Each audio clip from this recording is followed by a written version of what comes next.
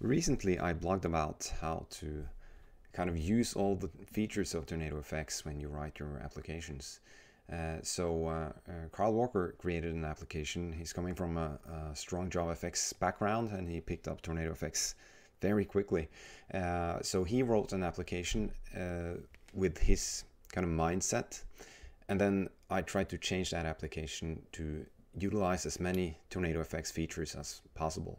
And we thought it worked out quite nicely, so we're going to try it again. So this time Carl made a customer app, and it looks like this. Uh, you have a refresh button that will load a list of customers. You can select a customer, and you have some input fields that will update, so you can edit the selected customer. Also notice that whenever you hit refresh, you have this progress bar at the bottom, and uh, the progress bar disappears whenever uh, there is no active uh, API call. So this is actually going out to a server, getting some JSON and uh, converting it into these objects. So you can see down here. So I have loaded the application in the background. I haven't looked very closely at it, and that was kind of the point of this to see kind of my, my reaction to the code and uh, what we can do to improve it. So we have a data class for the customer, with an ID, first name and last name field, and we have a toString method that concatenates the first name and last, last name. Uh, of course, uh, in Kotlin, we don't need this, so it could be written even without the return, like this. Doesn't help much, but I'm gonna attack everything I see anyway. So we, the next thing we have is uh, customer model updated. That's an uh, event, just kind of a, a, signal event. It doesn't contain any data. We'll see where that is used. Then we have the main view of the application. So this contains a VBox with a split pane and it loads two fragments inside that split pane and sets some padding. Then this HBox will be for the, the status bar in the bottom, I think. So let's fire this up again and, and uh, see how this uh, fits together. So this customer list fragment is probably here. Uh, and it seems it, contains the button as well. And the details fragment will be this fragment over here. And the HBox is this one, I think. okay, so before I look at the actual structure of the application, we'll look for syntax that we can uh, maybe improve upon.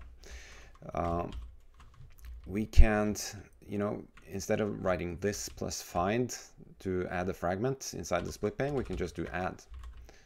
It looks a bit cleaner.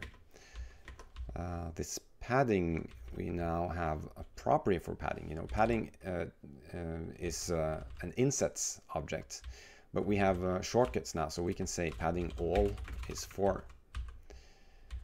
Uh, this one will accept any kind of number, so you know you mostly write ints anyway. So why do you, why would you have to add this you know dot zero to make it into decimal? This looks a bit cleaner anyway. Now with the progress bar, uh, what he does is he, he uses the, the builder and then he accesses the progress property inside the builder and, uh, and binds it to the task progress inside the customer view model.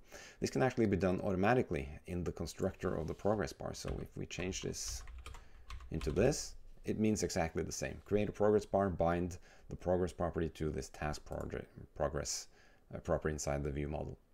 We can do the same with the label works exactly the same way.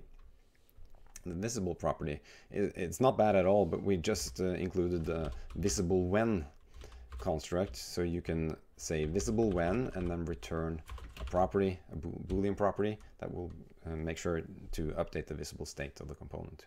We actually also have a, uh, a new one called um, removed when, which uh, will um, uh, which will actually remove the component, but that's not what we want here. Uh, it's not uh, released yet, that's why it didn't show up in my IDE, but it, it, will be soon. So we have the same thing for the padding here. Let's set it to 4. The spacing can be configured in the builder, so we don't need that. Okay, so it's a bit more concise. The, the main giveaway or takeaway here was uh, uh, these two. The, the bindings, I think, helped a lot. Okay, so let's look at the customer list fragment. Uh, it contains a VBox with a button on top and then the list view.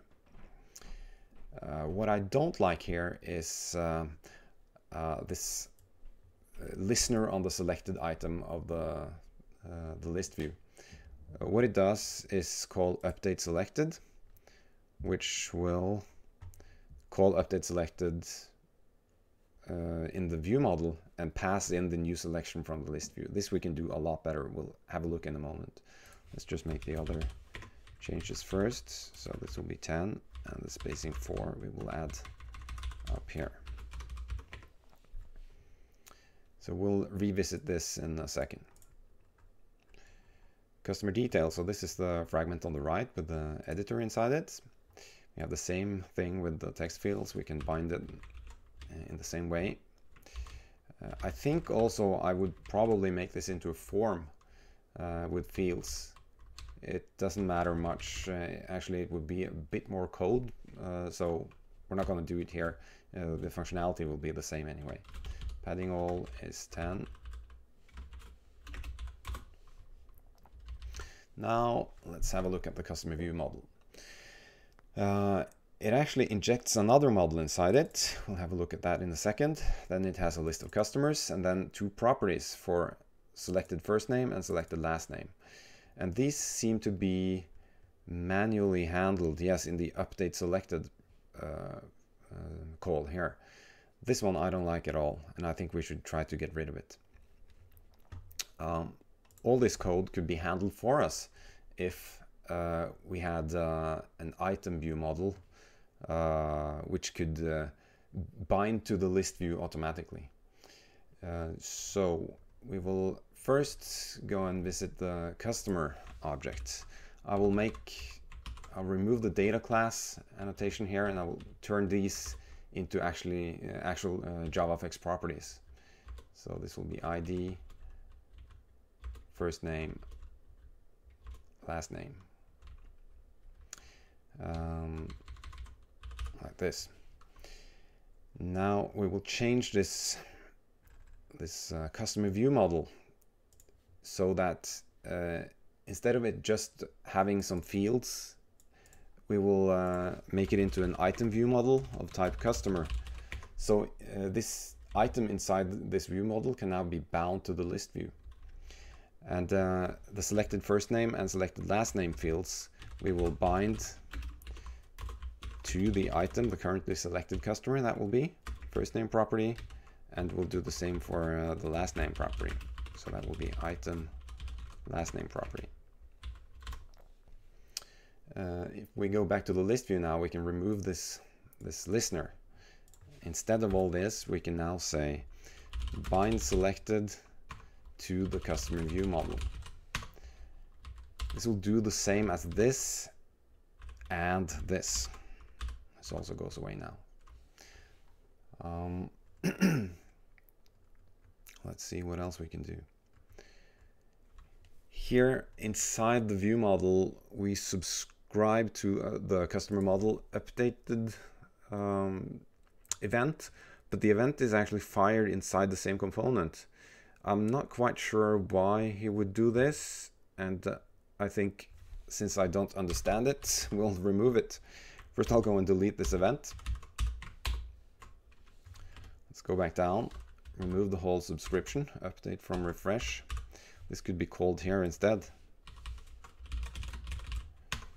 And let's look at the update from refresh. It's a single line. We might as well go back and uh, and do it on succeeded, I think. Now there might be a, a valid reason for doing that, but uh, I can't see it, so I'll remove it. Also, this update selected now goes away since uh, the binding is taken care of automatically for us. Okay, so we have a lot less code to, to deal with, and uh, the list view code looks a lot cleaner. We just bind the selected customer to this view model automatically. Um, let's see what else we have. We're doing some remoting calls. Yeah. Um, I changed uh, the customer to be um, uh, to have JavaFX properties, and I removed this constructor because I really don't like this at all. Uh, we're, we're, downloading a list of customers in JSON format, and then for each JSON object, you see here, we add to this customer list um, and construct a customer object. We can do better if we introduce the JSON model into this and we override the update model call, which will get JSON. And with this JSON, we can assign to our property. So we can say that uh, uh, ID is is uh, get int ID. Uh, first name is get string first name, and last name is get string last name. Now we have a way for this customer object to, to uh, populate itself from JSON. If we look at the remoting call again now, down here, we can remove almost all of this, say list to model, and then say customer add all. We should be able to customers add all to remove all of this stuff. And we don't need to fire the event anymore. So the, API call will now get the list of customers, turn it into a list of JSON objects, and then just call toModel on it. And toModel is smart enough to understand that uh, um, that we want a list of customers because the return type, or actually the type of the list, uh, is uh, of type customer. So it will utilize this update uh, model, sorry, update, uh, yeah, update model um, call we created to extract the JSON and put it into our properties. Um, yeah, I think that's about it. Um, the reason he's creating this task object instead of just using run async is that right now uh, run async uh, won't give you a way to access the update message and update progress uh, um, calls inside of the task. So this is something I would very much like to change, but right now this is the only way to do it. It's not much code anyway, so uh, I think it looks good enough. Let's uh, try to rerun our application and see if it's still working after all the changes.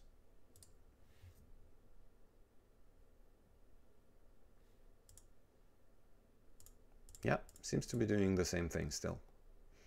So that was my uh, two cents on this application and the changes I, I feel are worth making to to make the the whole thing easier to maintain. And uh, I also think this is the way to go to reduce the number of bugs in your applications. The less code you write, the less likely you are to make any mistakes. Thank you for watching.